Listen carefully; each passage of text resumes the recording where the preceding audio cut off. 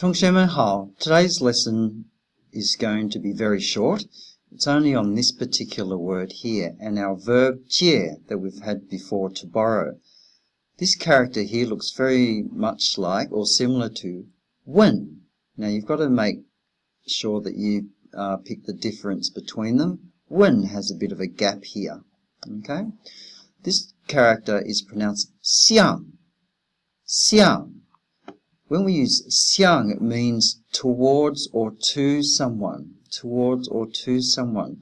So our previous uh, video lesson was on uh, borrow. May I borrow something from you? Here it's saying borrow something from him.